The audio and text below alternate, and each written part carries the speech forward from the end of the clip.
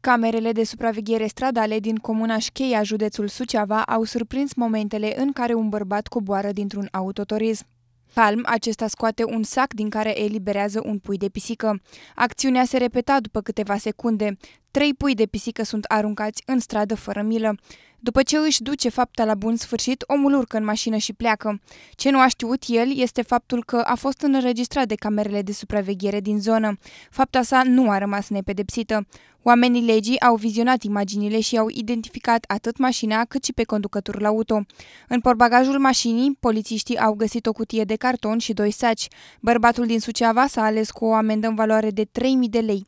Pisoii au fost recuperați și se află în grija Asociației de Protecție Animalelor Casa lui Patrocle Suceava.